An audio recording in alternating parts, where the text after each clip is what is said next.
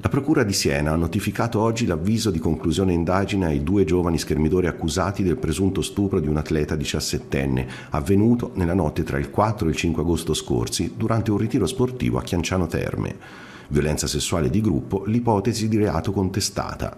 Ad aprile scorso l'atleta, una schermitrice straniera, è stata ascoltata dal GIP di Siena per quasi otto ore con incidente probatorio richiesto dalla Procura che coordina le indagini condotte dai carabinieri.